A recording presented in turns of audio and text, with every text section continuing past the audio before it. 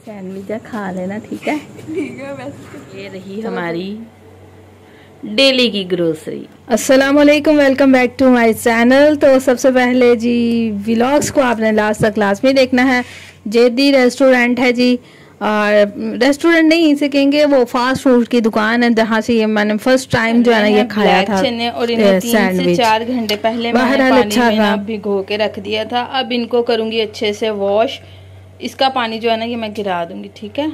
यहाँ पर है मेरे पास चने ठीक है? इन्हें मैंने अच्छे से ना धो के धो लिया ठीक है? ये बड़े साइज़ के टमाटर इस तरह से मैंने तीन काटे हैं ठीक है?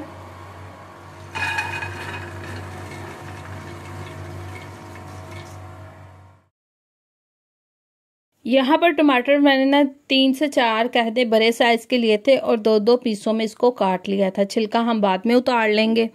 यहाँ पर मेरे पास है जी प्याज, लहसुन और अदरक का पेस्ट था मेरे पास। वो मैंने इसमें डाला। उसके बाद इसमें डाला जी पानी। पानी की मकदार इतनी सी बस रखनी है कि जिसमें चने जो है ना, वो अच्छे से जो है ना, वो गल जाएँ और उसके बाद ज़ाहिर बात है ऑयल डाल के उसे भूनना आता है, फिर पानी डालना आता है, शोरबा बनाने के लिए।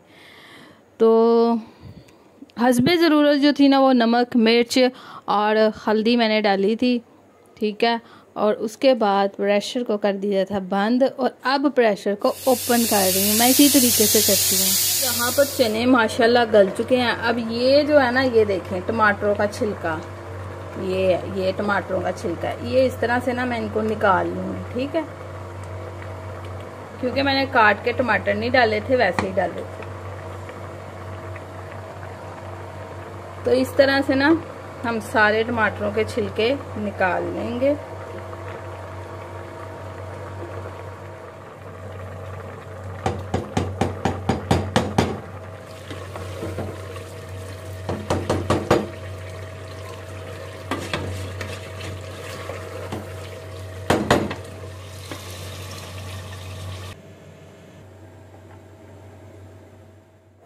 तो ये जो आज की वीडियो मैं आपसे शेयर कर रही हूँ ना, ये भी मेरे पास एक दो दिन के क्लिप्स जो थे वो पड़े थे। कल मैंने इसको शेयर करना था। उसको ना करने की रीज़न ये थी कि कल मेरी दोस्त नबीला मेरी तरफ़ आ गई थी। और इसलिए जो है ना, फिर मुझे टाइम ही नहीं मिला कि मैं इसको एडिटिंग कर पाती इसकी अच्छे से। और क्योंकि बच्चे, आपको पता है, फिर सारे मिलके खेल रहे थे। और उसके बाद बस हम फिर कुछ गपशप लगाने लग गई। और टाइम का फिर आपको पता है कि पता ही नहीं चला कि किस तरह से टाइम जो था वो गुज़र गया। तो फिर आज मैंने ये सोचा कि क्यों ना इसको मैं आपसे आज शेयर कर देती हूँ, ठीक है जी? अच्छा तो आज ना एक, मैं टोटका कह दें, कोई टिप्स कह दे पढ़ रही थी जो आपसे शेयर करती हूँ। कहते हैं कि हरा धनिया पुदीना।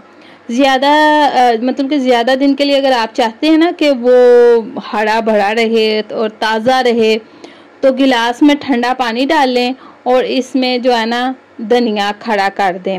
और उसके बाद उसको आप ना फ्रिज में रख दें तो कहते हैं कि हफ़्ते तक ना वो यानी कि बिल्कुल भी ख़राब नहीं होगा। पहले तो ये टिप्स होती थी ना कि वो अखबार में कवर करके रख दें तो उसके बाद वो वैसे ही हरा रहता है।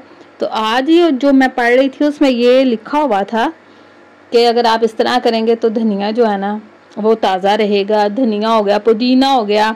अच्छा जी, और इसके अलावा एक और मैंने पढ़ा है, इस पर अभी फ़िलहाल मैंने तजर्बा नहीं किया, करूँगी किसी दिन, क्योंकि ये मैंने फ़र्स्ट टाइम खुद इसको सुना है कि हरी चटनी का रंग जो है ना फ्रिज में ग्रीन रखने के लिए चटनी जो है ना, जब चटनी बनाते हैं तो उसमें ना एक खाने का चम्मच सिरका और एक चाय का चम्मच तेल अगर डाल दें ना तो चटनी का रंग जो है ना, वो हरा ही रहता है। जारा की दोस्त के लिए डाला है।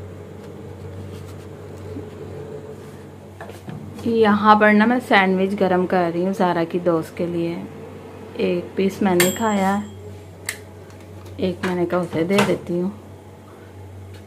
आया भी आया।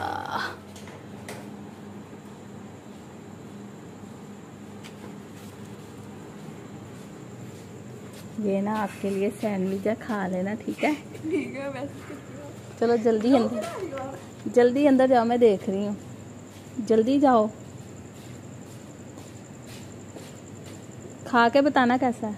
पत्ती का डिब्बा मंगवाया है। नेशनल का जो है वो नमक मंगवाया है नमक ख़त्म हुआ था। अच्छा मैं ना पिंक नमक इस्तेमाल करती हूँ।